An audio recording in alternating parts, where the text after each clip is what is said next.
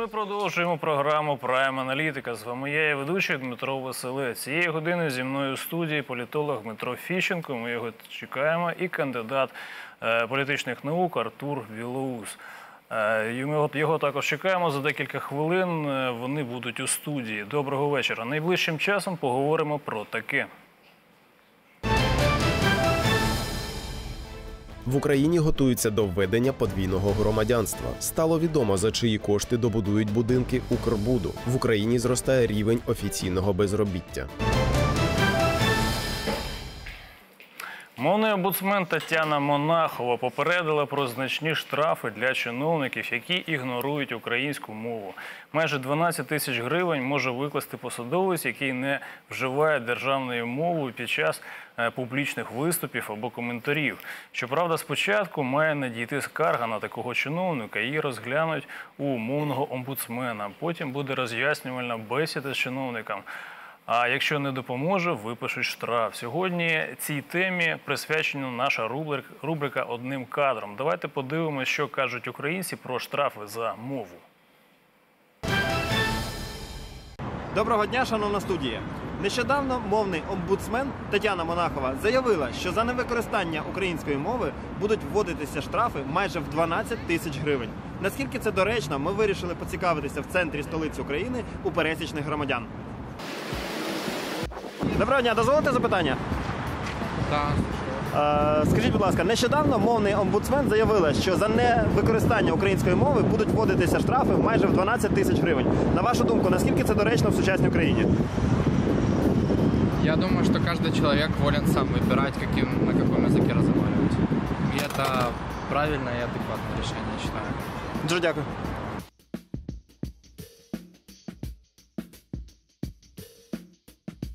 Я думаю, что это не- немножко невозможно. А чому саме? Ну, потому что, а что это может быть насильственным методом? У нас же свободная страна.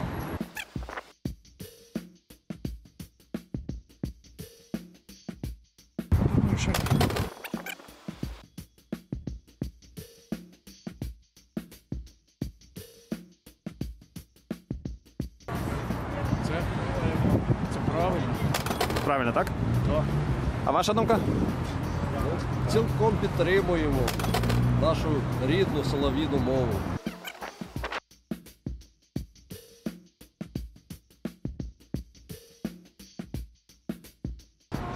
Человек должен разговаривать на том языке, на каком он хочет, но единственное, что должен соблюдаться все-таки как э, тот факт, что украинский язык является государственным языком.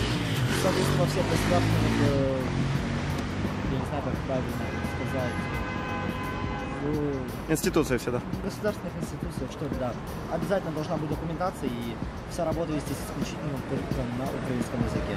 А так между собой А ви як вважаєте? Ну, я теж так вважаю.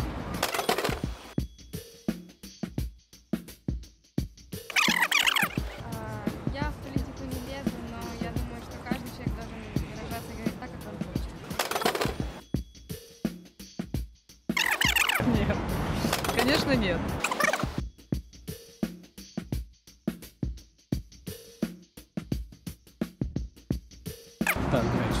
Доречно. Дуже дякую.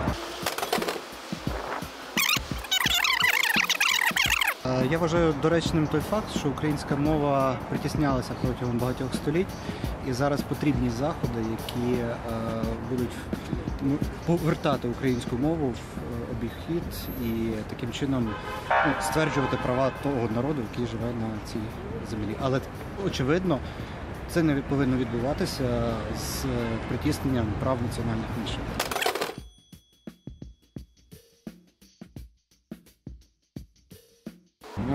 Я не згоден. Щодо української мови, це взагалі справа совісті кожного українця. От я киянин, але я за чисту українську мову. Україна заражена наразі дуже-дуже суржиком.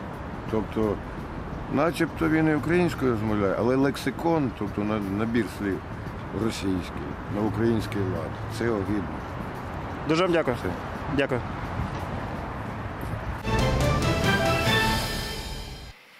Нашим глядачам нагадую, ви можете долучитись до розмови у прямому ефірі. Номер телефону ви бачите на своїх екранах. Дзвінки безкоштовні.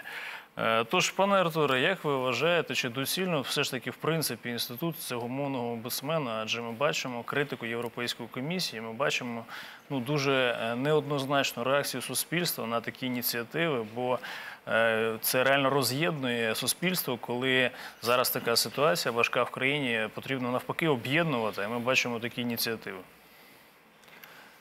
Ну, Зрештою, для вирішення будь-якої проблеми у нас звикли створювати якусь бюрократичну структуру. Е, Я не думаю, що цей інститут мовного омбудсмена особливо допоможе чи зашкодить. Е, Подивимося, як він буде діяти. З тих заяв, що я вже чув, вони трошки дивні, тому що навіть той закон, який був ухвалений, можна його критикувати, але мовний омбудсмен ну, вже лякала штрафами людей, які просто звертаються, наприклад, російською чи іншою державною мовою. Тобто є обов'язок осіб уповноважених на виконання публічних функцій. Причому це не тільки державні службовці, а, наприклад, касири, супермаркети чи офіціанти володіти державною мовою. Але навіть в цьому законі не забороняється звертатися тією мовою, яка е, зручна. Тому я думаю, що сам мовний обусмен має вивчити для початку цей закон. Тобто, ну я не думаю, що тут треба особливо ламати списи. Питання, питання трошки штучне. Немає насправді серйозної е, проблеми і ніколи не було в Україні. На щастя, в мовному питанні е, завжди було толерантне ставлення різних верств один до одної. Подивимося, як це е, буде на практиці. Хоча я все-таки вважаю, тут глядач, до речі, правий, що сьогодні проблема не тільки і не стільки в тому, що якось утискується українська мова, що треба її захищати, скільки в якості самої мови. Бо дійсно це суржик такий є е, суцільний. Е, З поширенням соціальних мереж, на жаль, стиль та й Шевченкович, Леся Українки, літературної мови, він якось так, знаєте, зводиться на другий план. І не можна назвати якоюсь нормальною українською мовою те, що є. Нарешті навіть на зовнішньому незалежному оцінюванні десь 20%, в деяких областях і 30% студентів не набрали необхідного мінімуму з української мови і літератури, і оце я трошки бентежить. Тому потрібно якісно покращувати е, з точки зору літературної правильної мови стан речей, а не просто забороняти російську чи якусь іншу. Дякую, пане Дмитро. Як ви вважаєте, чи от, е, от як вам здається, наприклад, в Німеччині, наприклад, що був мовний омбудсмен, чи в Швейцарії мовний омбудсмен? Ну, чому це у Франції аналогічні структури, вони дуже французи слідкують, щоб там, не Боже борони, не з'явилося щось англійське, англомовні слова. У них е, Ну, я чесно не пам'ятаю, щоб там штрафували. Штрафувають, ви вивіску не можете повісти у Франції. Вивіска це окремо, це Потім реклама. ви не можете, наприклад, увазі е, показати фільм на англійській мові чи на іншій мові. Обов'язково він повинен бути. Там дуже жорстка, жорстка ситуація. Тобто е, питання, знаєте, не в тому. е, Наскільки там державну мову захищають, у то- але в тому там плані дайте мовного дайте- Ось послухайте, мовний омбудсмен. Якщо е, опитування йшло як? Чи підтримуєте ви те, що чиновники мають говорити державною мовою? Звичайно, я звичайно підтримую. Але коли звичайна людина звертається, наприклад, я можу говорити тільки про себе. На якій мові до мене звертаються, на ті я відповідаю. В побуті. Нема питань. І я думаю, так роблять і більшість людей. Я не стану принципово, до мене звертаються на російській мові, не стану говорити принципово на українській, щоб показати, що ні, я буду точно так відповідати на тій мові, на якій до мене звертаються. Якщо б я краще знав англійську і до мене звертались на англійській, я б відповідав би на англійській. А те, що стосується державних інституцій, звичайно, чиновник має розмовляти державною мовою. Ну, Дякую. У нас є телефонний дзвінок у студію від нашого телеглядача. Вітаємо вас. Ви в ефірі. Добрый студия. Доброго Пенсионер вечора. Юрий Краснодон.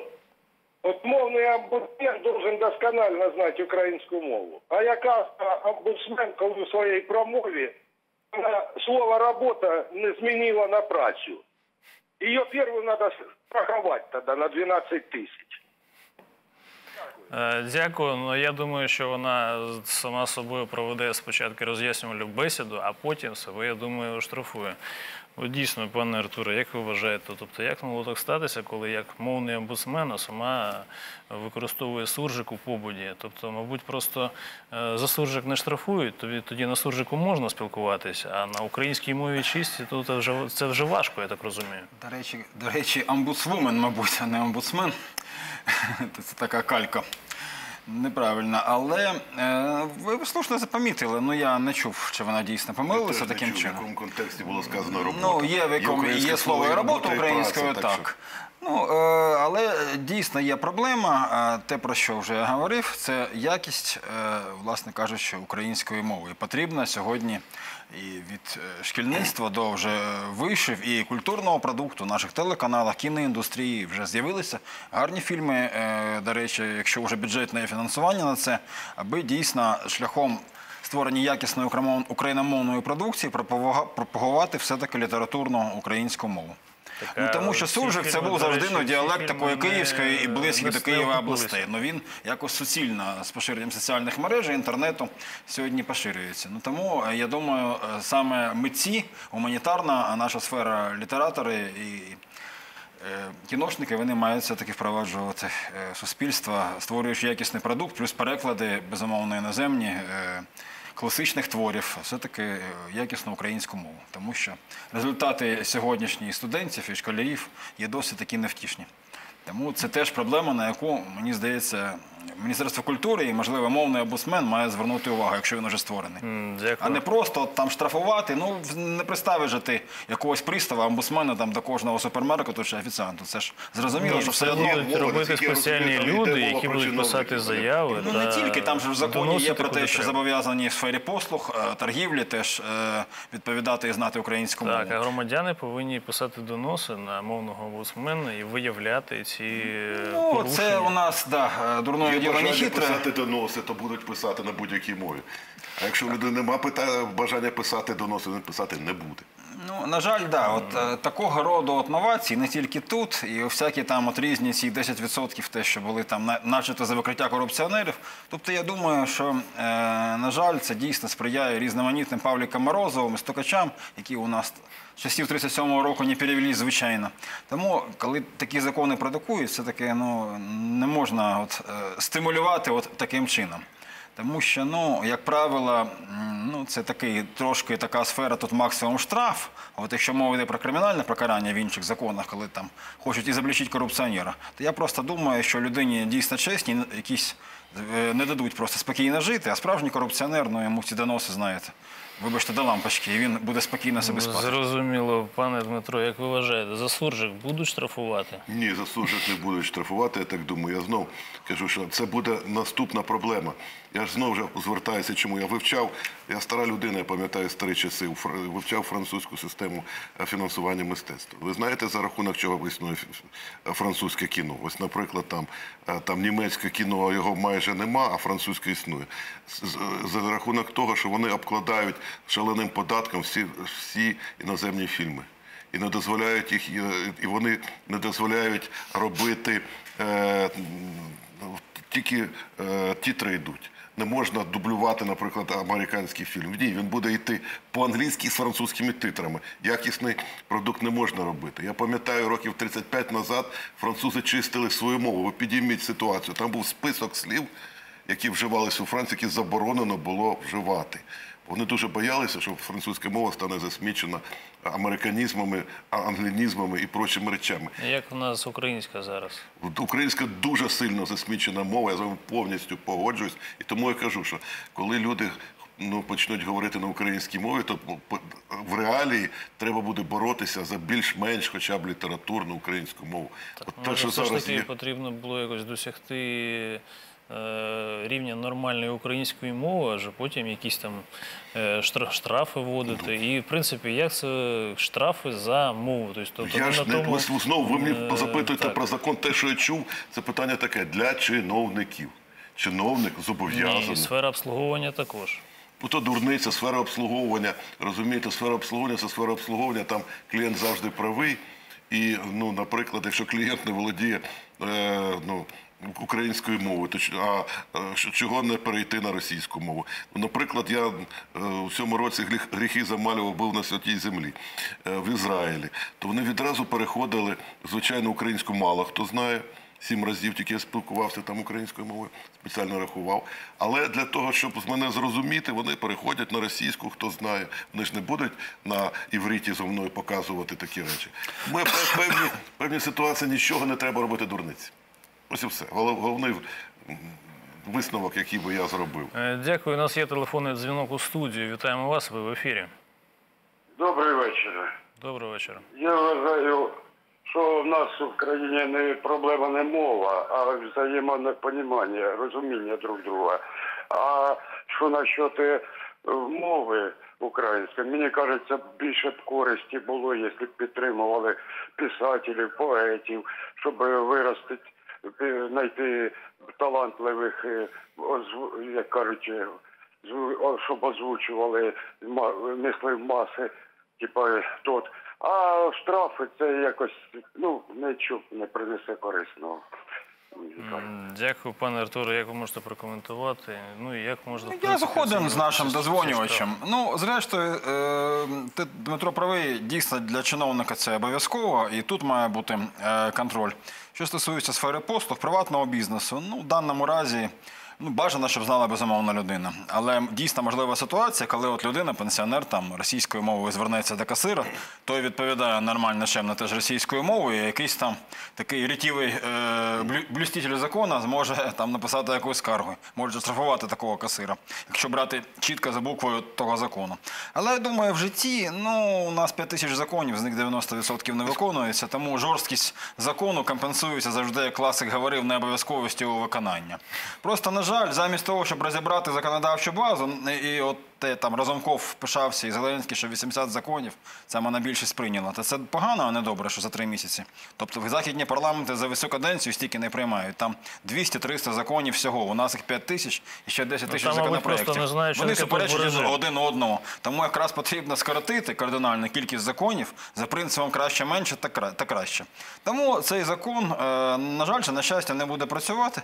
Так само, як і не працюють закони про розпиття там пива в публічних місцях, чи, на жаль, е, те, що потрібно, щоб було працювало про обмеження швидкості в містах, чи про роздільне е, сміття. Нема навіть цих сміттєвих баків, вибачте, у дворі, що можна було, якщо я навіть хочу, роздільно сортувати його. І багато чого іншого. Е, Тому що перш ніж приймати той чи інший закон, потрібно вивчити проблему. І, на жаль, мені здається, що з кожним новим скликанням парламенту, пам'ятаю по своєму і далі, ну просто якість законотворення падає, тому що люди просто не розуміють. Вони думають, що є якась проблема, і треба е, її облічити, якісь законопроекти, вона буде вирішена. Потрібно, е, якщо кардинал Рішельє колись сказав в своїй класичній праці, що краще, коли немає закону і є гарний чиновник, ніж є гарний закон при поганому чиновникові. Тому завжди є здоровий глузд, і ми якось е, цим користуємось навіть без, без якихось дурних, вибачте, законів. Дякую, пане. Пане Дмитро, от як ви вважаєте, от зараз, в принципі, ситуація в країні досить важка, конфлікт на Донбасі. А саме закон, який дискримінує з точки зору Венеційської комісії і європейських стандартів е, російську мову, саме зараз приймає. Тобто, що це таке? В чому, в чому сенс? Я так розумію, що був тренд е, від попередньої влади на таку тотальну українізацію, і в цьому тренді, я так розумію, був просто той закон, а Зеленський вже отримав його у спадок. Чи все ж таки це е, якась е, послідовна політика, якої Зеленський Він, теж ну, дотримується? Я ж весь час сиджу на всяких соціологіях. Дуже багато інформації маю своєї, краденої і іншої. Він не може собі дозволити послабити цей закон, інакше в нього посипеться рівень підтримки. Тому, щоб не говорили, закон швидше за все лишиться такий, який є, і це буде компенсовано. Ну, наприклад, кожен виконує закон, виходячи з свого виховання. Ось, наприклад, я себе титрую як український буржуазний націоналіст. Як буржуазний, не пролетарський націоналіст. Якщо до мене звернеться продавець російської мови, я просто перейду на російську. Бо я ж не пролетарський е, націоналіст, який каже, що е, все, що українське, е, що я повинен всіх українізувати. Я вважаю, що українська нація має бути політичною, тобто це ті, хто вважають себе українцями, і далі за текстом. Тому ви знаєте, періодично підіймається це питання, це теж питання. Ну не можна. Чомусь вважається, що е, якщо в нас перестануть говорити на російській мові, то у нас е, впливу руського миру не буде. Неправда. Це Прибалтика показала. Там всі ті, хто спочатку казали, що їх притісняють, що їх змушують е, вивчити там естонську, особливо важка. Ну, литовська, латвійська, вони полегше. Вони потім і вивчили, але погляди в них не змінились. Знаєте? Тобто, умовно кажучи, російськомовні Латвії вивчили латвійську. Погляди і голосування в них лишилося таке саме. Тому це такі якісь речі. Ну, наприклад, ми ж не можемо сказати, що давайте заборонимо німецьку із-за того, що на німецькій був написаний Майнкраф і Гітлер говорив. Не можемо, і це дурниця. Питання не в тому, на якій мові люди говорять. Питання, питання що вони говорять. Доречно. Е, І в нас є телефонний дзвінок у студію. Вітаємо вас. Ви в ефірі. Так, так, вітаємо вас. Ви в ефірі. Говоріть. Доброго вечора вам. Доброго вечора. Вам небось за цю програму, що ви видите ще й гроші заплатять. Ви в першу чергу політиків зобов'язіть розмовляти на українській мові, а потім продавців і всіх остальних. Політики розмовляють на російській мові, противно слухати. А ви оце ведете такий розговор. Будьте здорові. Дякую, зрозуміло. Е, Пане Артур, от наші дозвонювачі вважають, що навіть політики зараз не говорять. Ну, наприклад, Аваков. У нас е, вже є да- давно закон, що якщо ти чиновник, ти повинен розмовляти на українській мові, а на іншій мові ну, заборонено. І там, ну що зараз, що Аваков, там невелика різниця в знаннях української Згоден. мови. Е, ну, ми ж, е, шановну дозвонювачку, не можемо примусити. Тим паче людей, які ми зараз експерти, звичайні, е, не можемо примусити людей, які облічені е, важелями державної влади, виконувати закон, якщо вони дійсно їх самі порушують. Це виборці мають реагувати. Е, Я думаю, що деякі політики, я так просто дивлюсь на Верховну Раду, вони прекрасно розуміють і знають, і вміють розмовляти українською мовою, спеціально говорять російською, мабуть, орієнтуючись на свого виборця, наприклад, зі сходу чи півдня України. На жаль, ця проблема вона дійсно трошки гіперболізується. І мені здається, з обох боків ну, спеціально цю карту розігрують, тому що тут легше за все, знаєте, якісь політичні гасла проголошувати. Що насправді ну, проблеми мовної як такої ніколи в Україні як гостра вона не існувала, попри різні радикальні налаштування з усіх боків. І різні соціологічні дослідження показують, що ну, відсотків 5-6 в- ц- ця проблема хвилює як е, першочергова. Тобто навіть сьогодні в умовах війни фактично е, немає якогось розколу України, власне кажучи, по мовно, за мовною ознакою. Ну, але політики завжди цю тему будуть експлуатувати. Хоча, можливо, Ну, от кажете, що в майбутньому вже нове покоління прийде оцей інтернет, на якийсь у них якась глобальна глобалістична мова, будуть більше вивчати англійську. Може, ця проблема трошки зійде з порядку денного. Е, Дякую, пане Дмитро. Тобто дуже багато розповідають, що ну, в принципі в нас ні, ніколи не було проблеми з мовою. Але систематично вводяться закони, які дискредитують інші мови національних меншинств.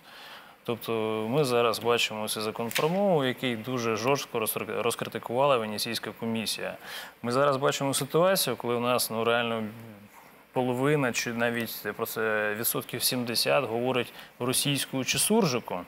Е, Є різні е, е, з цього приводу думки там в процентному співвідношенні, але ми бачимо, що в нас заборонено вчити в школах російську мову, і навіть якщо комерційно її вивчають, тобто навіть комерційно забороняють російську мову вивчати. Тобто це нонсенс, коли ну, реально більше половини населення розмовляє та думає на російській мові, а нормально писати правильно, без помилок не може.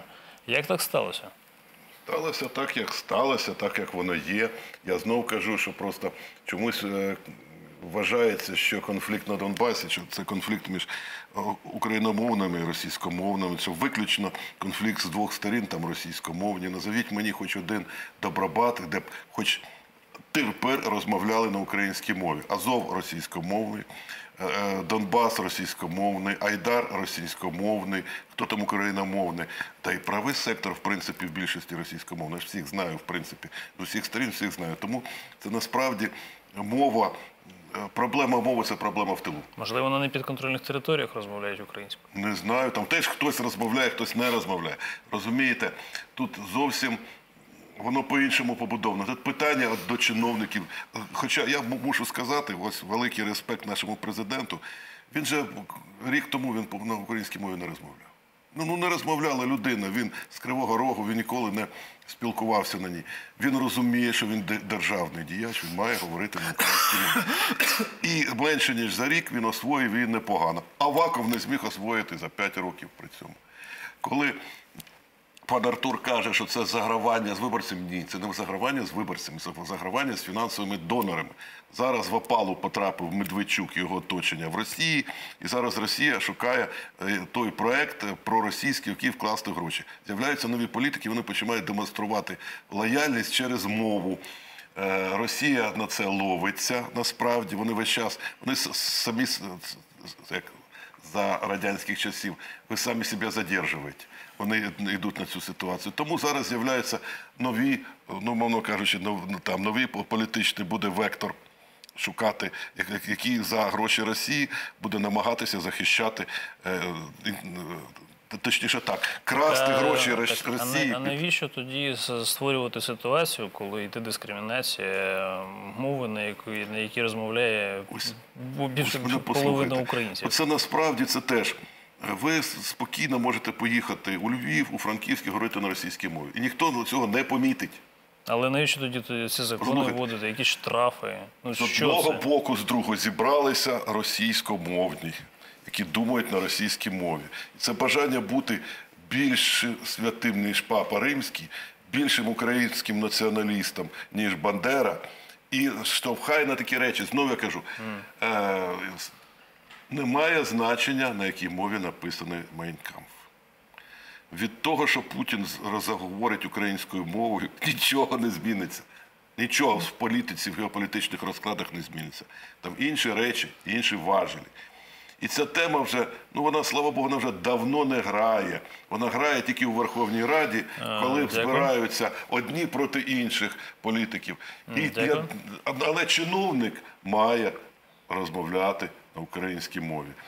Ось і все. Е, Я думаю, що пану Авакову омбудсмен мовний якраз перший штраф вона Ну, і це буде випише. привід до- для пана Зеленського звільнити його у січні місяці. Е, І у нас є телефонний дзвінок виконуєте у студії України. від нашого телеглядача. Вітаємо вас, ви в ефірі. Добрый вечер, студия. Доброго вечора. Мне кажется, что мовный закон оказался именно той спичкой, которая как раз подпалил Донбасс. И не под... чуть было не подпалил еще несколько наших областей.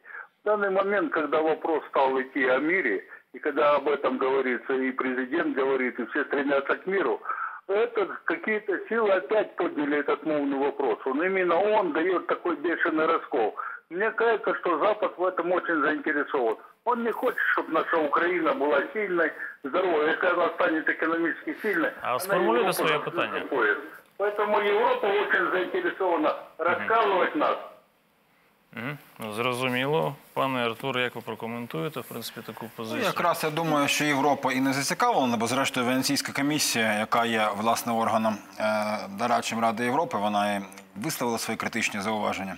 Стосовно цього закону, і ці зауваження треба врахувати. ну, Дійсно, ці штрафи мають стосуватися чиновників, державних службовців, а не, скажімо, приватної е, сфери послуг. Е, І щодо шкіл є проблема. Тобто людина, якщо хоче обрати, наприклад, російськомовну чи угорськомовну школу, я думаю, що вона має на це право. І зрештою ця ситуація завжди була врегульована. 20-го року цього права Не- немає. Я розумію. Так от це треба скоригувати, щоб повернути так, як воно було, і проблема е, немає насправді цієї серйозної проблеми. Але треба розуміти, чому виникла така ситуація. Так як було в країнах Балтії, і так як про що Дмитро говорив вже у Франції, тому що ці країни, як частково і Україна теж. Вона відчувала домінанту в даному разі країни Балтії чи Україна російською мовою, а Франція, ну не з точки зору навіть, що вона була окупована, з точки зору от впливу е, американської, перш за все, культури, вони вважали, що таким чином вони зможуть захистити французьку мову, вводячи певні обмеження. Тобто був і такий шлях. Особливо це для країн Балтії, де там населення всього в Естонії мільйон, в Латвії Литві два-два з половиною. Тому було дійсно загроза навіть знищення мови.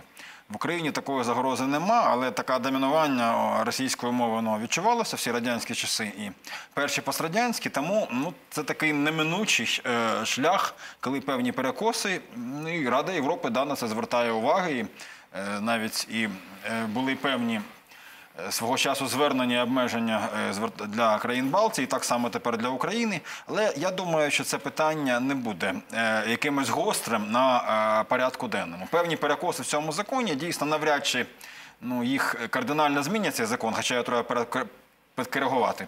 Але я думаю, що на місцях е, його жорсткість така, знаєте, трошки е, паперова, вона буде компенсована ну, тим, що будуть люди просто, просто заплющувати очі. Бо виконувати закон, там, наприклад, в Запоріжжі чи в Херсоні, чи в тому самому Харкові, Але особливо не на Донбасі, будуть реальні люди. Морозу, І ну, вони ж теж там живуть, і вони прекрасно розуміють, що Давайте набагато краще. нехай штрафують. Да, ну що, ну, ну хто там?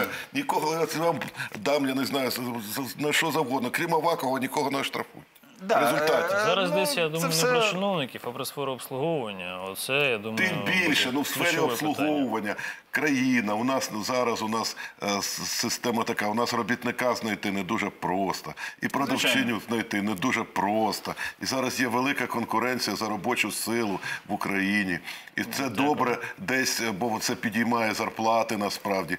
І я хочу подивитися на того власника магазину, який почне репресії проти якоїсь продавчині за те, що вона погано гов- говорить на українській Ну, мові. Чи не звертається інспектора ж там не поставиш біля кожної каси чи е, ресторації. Може хтось там осо- особо бдітельні граждані, вони напишуть скаргу, що от там е, це були ж такі і конфлікти це вже. пішло Але як на це будуть реагувати? Цей же апарат того мовного Добре. омбудсвумен, він маленький, тому вони просто фізично навіть не зможуть реагувати. Це просто не є не є нерозуміння. Для того, щоб вирішити проблему, потрібно дивитися в її суть, а не створювати якусь бюрократичну структуру. Зрозуміло, йдемо далі до інших тем.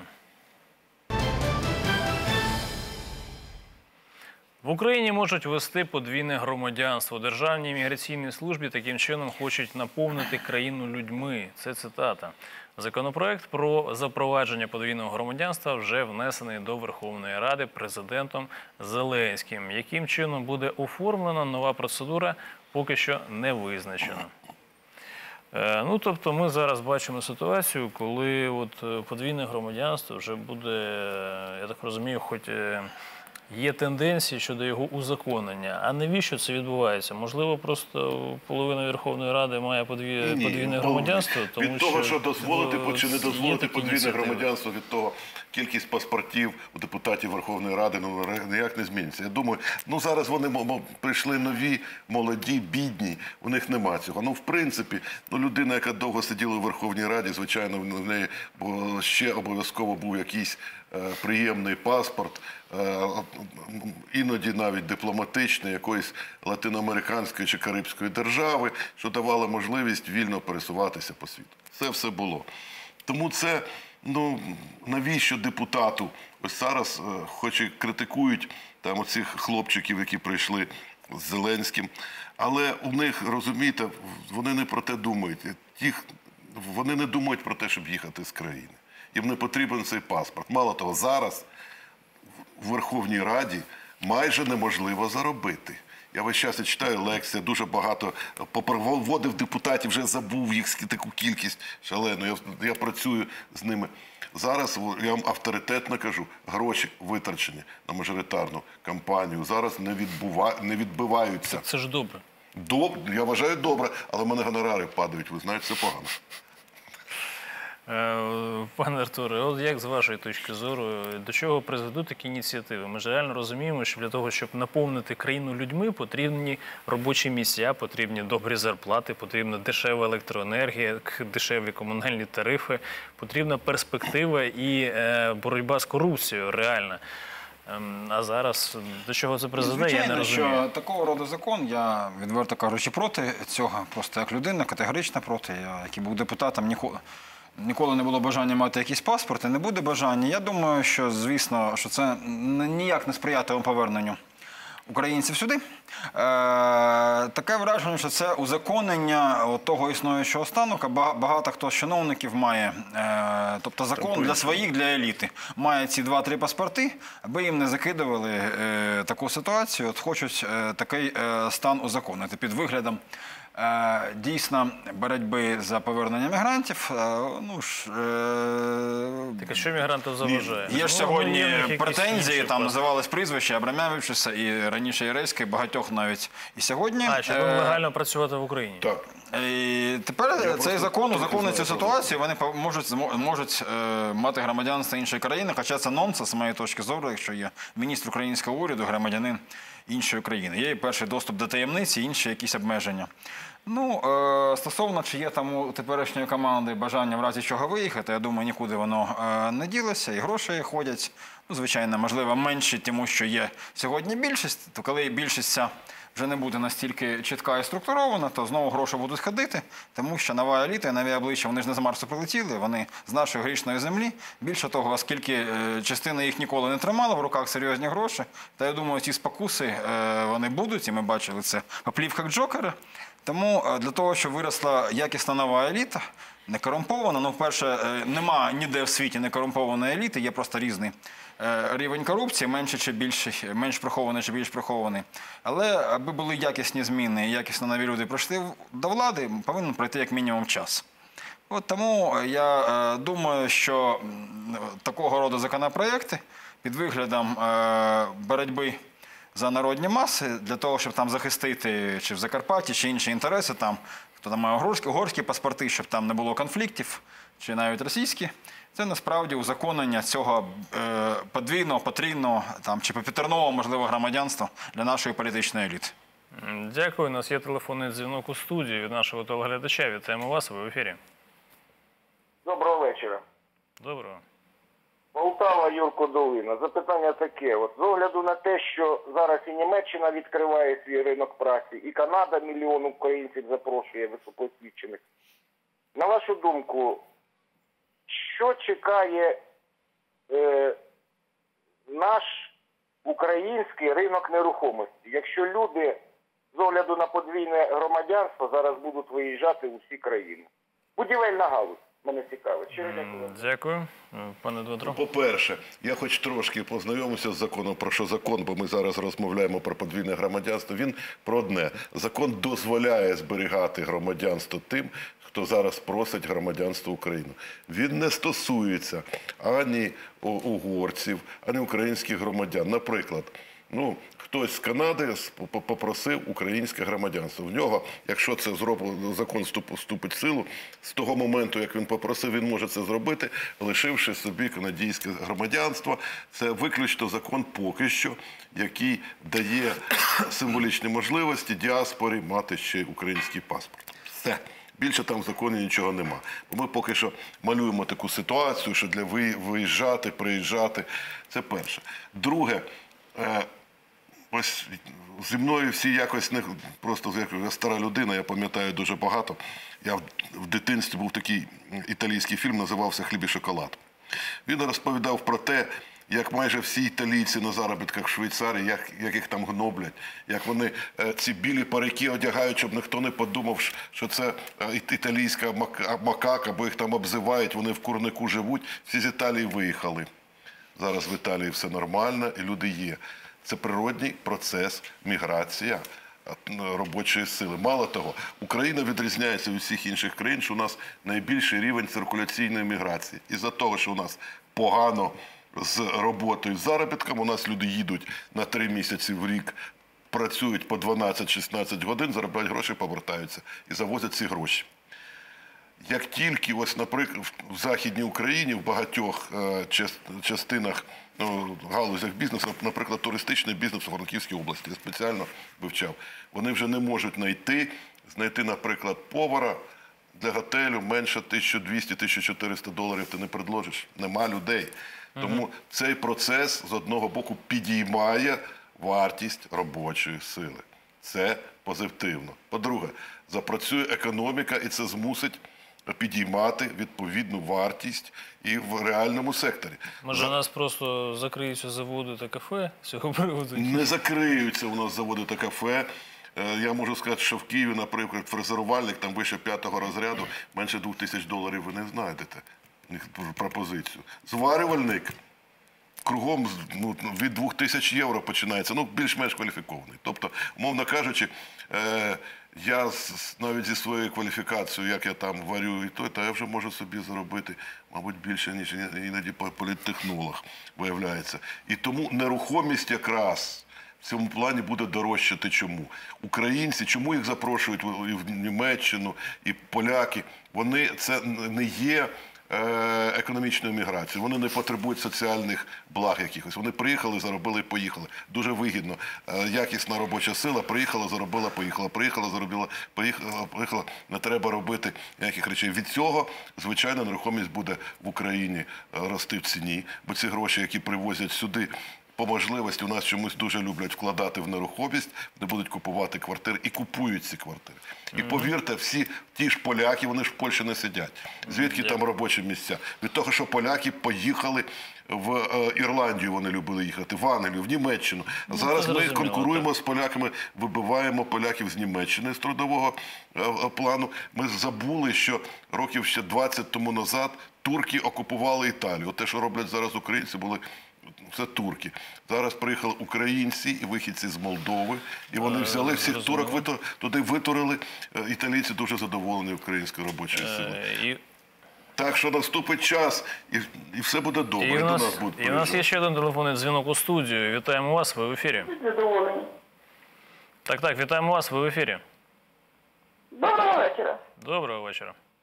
Я хотіла запитати вас, от подвійне громадянство, ви говорите, да? От проста людина може собі, допустим, за навіть зняти квартиру, щоб поїхати на роботу? Ні. Ви говорите, що цей фрезеровщик може е, заробити 2 тисячі доларів. А скільки людей вони працюють? Звісно, будуть раді нашим українцям, якщо вони працюють по 16 годин. Де в нас заводи? Які заводи? Я от токар револьверщик. Я можу десь устроїтись на роботу в Києві токаром револьверщиком, щоб заробити 2,5 тисячі доларів. І ви говорите, що може фахівець заробити? Не може заробити. В нас немає заводів, не фабрик, нічого. Угу. Дякую, зрозуміло, пане Артуре. Це є серйозна е, проблема, е, те, що наша е, глядачка помітила. Ну, до речі, я скажу, що ще в радянські часи було, пам'ятають, е, теж Дмитро пам'ятає, було таке УПК в школі. Е, Це е, вивчали певні професії. Я от перші свої гроші заробив у 9-10 класі на токарному верстаті. От було таке навчання, і це в радянські часи. Тобто при 145-й фізмат-школі От були такі от токарні майстерні, які, на жаль, сьогодні разом з підприємствами закрили. І от була практика, ми виготовляли деталі, з них збиралися стелажі для школи. Наприклад, якщо п'ятірка, то тобі 5 рублів перераховувались на зброкніжку. Я там після 10 класу 200 рублів, цих перша зарплата. Е, Гордо е, зняв. І дійсно, якби я не поступив до вузу, то, мабуть, би я пішов майстером в ті самі майстерні. Я мене згадую це з великою приємністю. Я, наприклад, набагато більше, хоча там Потім пішов в політику, закінчив факультет кібернетики, але багато більше сьогодні є попит. Не стільки навіть на економістів, на юристів, ну айтішників вже багато, скільки от, дійсно представників робочої професії. Дмитро правий, що кваліфікований токар, слюсар, ну сантехніка, якщо ремонт роби, зробити, ще електрика важко сьогодні кваліфікованого знайти. Він собі з роботу знайде. Але ну я розумію, що майстер, от така була от поняття робоча аристократія там на е, в пізньому радянському союзі навіть.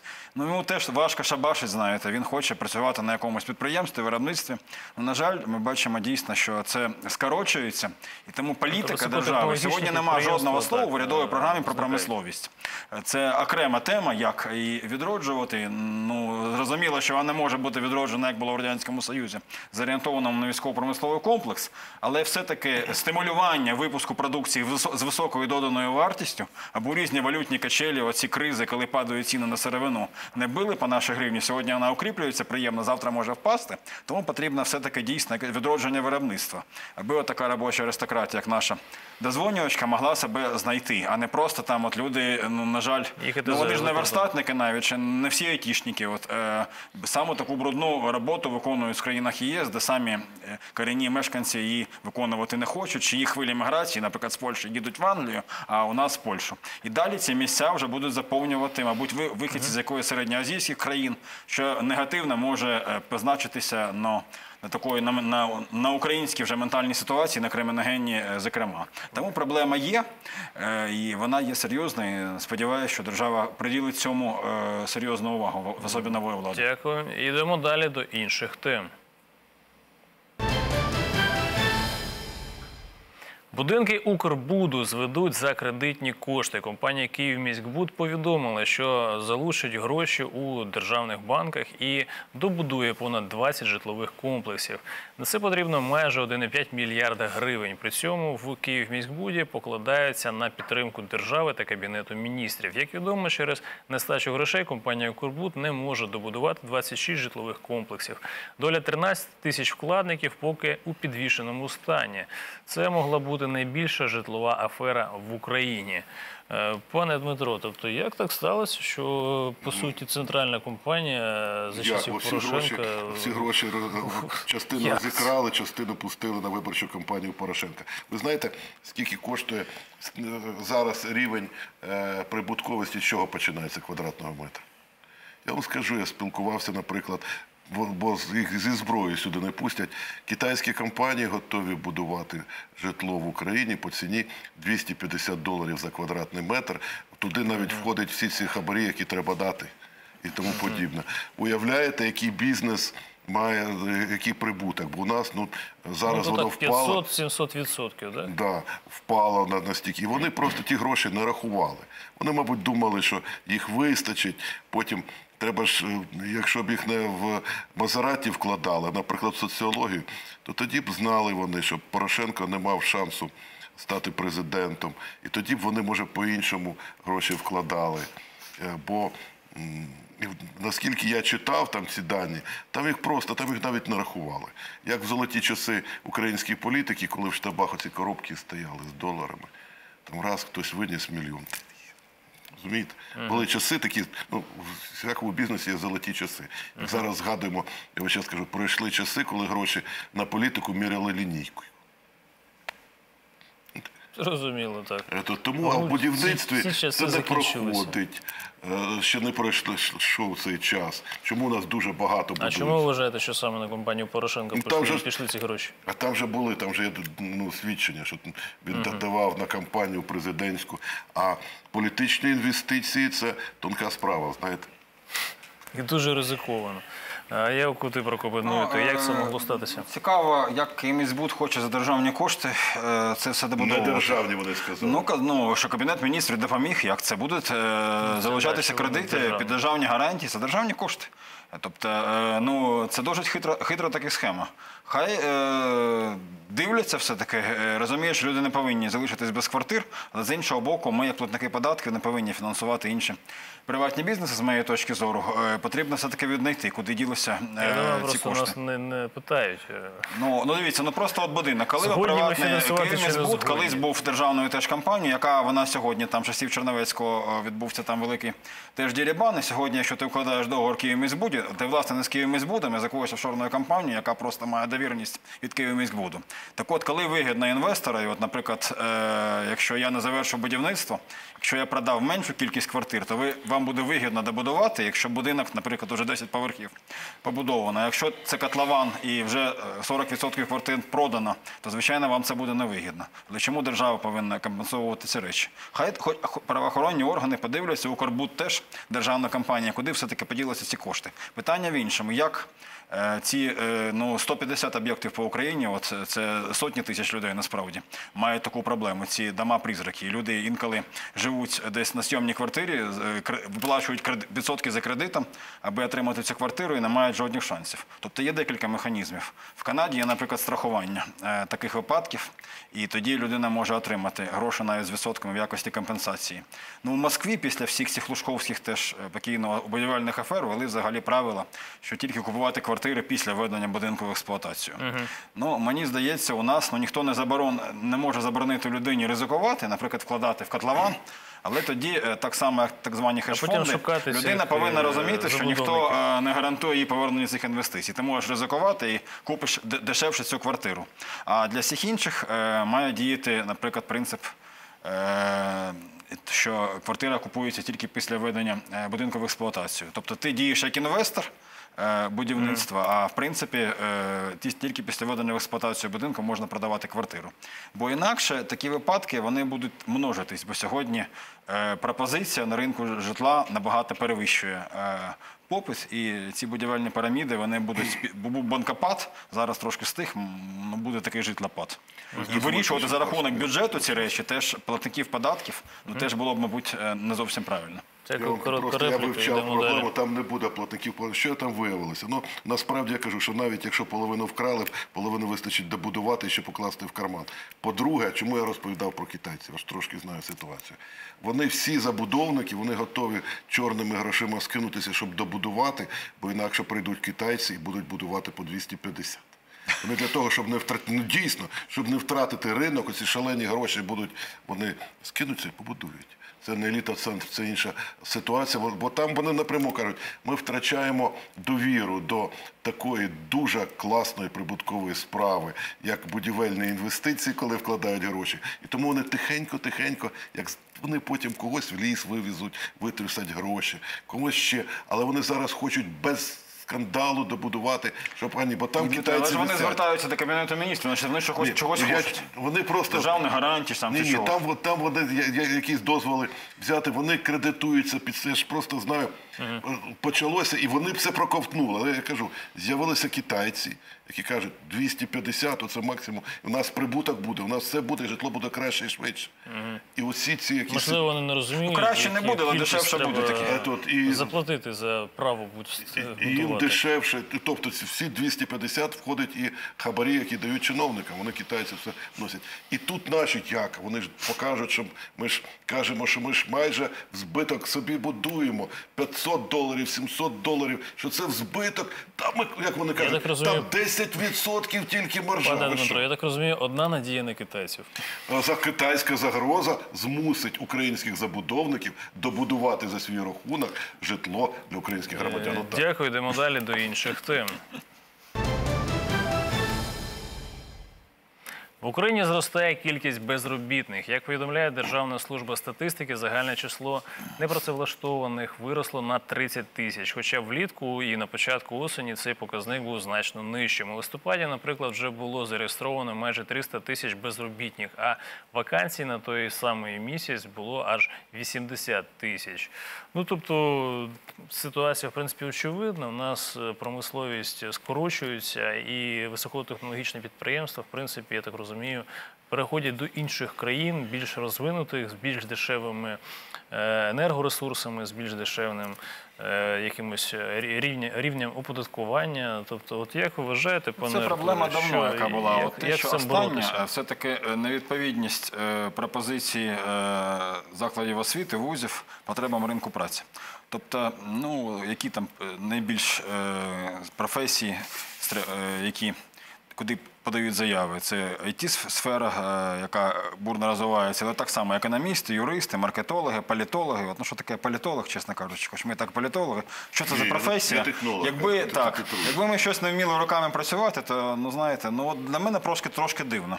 От коли там от багаті люди, які удавляться за копійку, там платять. Не знаю, мільйони політтехнологам, ну нічого ж вони такого насправді ну, не запропонують. Е, Що сам людина, маючи мозги, не міг би придумати. Тому ну я кажу, що це от я завжди навіть друзям, хоча там сам титруюся як політолог, що це не є професія. Е, юрист теж, е, ну юрист у нас це на- жаль, не, не той, хто добре знає законодавство, орієнтує, той, хто вміє мати контакти і заносити в кабінети хабарі. Ну це ж не є секрет. Якщо людина, людина просто 7 п'ядів лбу знає кодекси, він може залишитися безробітним, якщо немає таких специфічних чернових для нашого ринку знань. Тому е, от те, що скорочується мережа профтехосвіти. Тобто е, хочуть всі бути білими е, цими комірцями, не розуміючи, що е, якраз сині інколи заробляють е, те, про що Дмитро вже говорив, куди більше. Тому не треба цього соромитись, і оце як би там ми не критикували тоталітарне комуністичне минуле, от поняття робочої аристократії це було досить таки гарне. І мені здається, в майбутньому так чи інакше, якась промисловість іншої структури, не важка, може легка, деревообробна, от е, буде розвиватися. Ну, не потрібно там забороняти вивіз лісу кругляка, потрібно вести вести мито експертне, аби було вигідно е, свої меблі тут виготовляти. От я робив ремонт за 10 тисяч гривень, обставив кімнату і ліжки, і стіл, і все. Італійська така мебель коштувала б 100 тисяч і 150 з нашої ж деревини. Е, Тому Дякую. певні У такі нас от е, дуже мало є. часу залишилось до кінця ефіру. У нас ще є телефонний дзвінок. Е, Вітаємо вас, ви в ефірі. Так, так, вітаємо вас, ви в ефірі. Алло, алло. Так, так, вітаємо. Ставте своє запитання. Скажіть, будь ласка, мус... Київ пот- потрапляє в мусорі. На кожній зупинці мусор, так? Я до чого веду? Скажіть, будь ласка, мені, на біржі платять гроші, кошти людям, які получають за безробіття, так? Чому не можна по 4 години два рази в місяць вивезти їх, щоб прибирали мусор? Об'ясніть оце людям. Е, Дякую, зрозуміло, пане Дмитро. Ви можете відповісти на це питання. Перше, Чи... сміття це ну. Ну, я розумію, що такі рузвельтівські, штучки, що давайте ми всіх безробітних будуть будувати нам дороги. Е, тут ще багато від культури е, суспільства. Ось я живу в приватному секторі, і в мене ніхто не забирає мусор. Але дружина складає весь пластик, вона сама його раз на тиждень відвозить. Я кожен день вивожу мусор, і у нас не треба прибирати біля будинків і на вулиці. Там завжди чисто, не дивлячись на те, що е, ну, держава не прибирає. Мало того, знайшлась людина-бізнесмен, яка уклала договори, яка сама збирає, якщо виставити сміття в своїх пакетах, на цьому заробляє гроші. Самоорганізація. А як тільки починає така посил, а ось держава нехай мені щось дасть.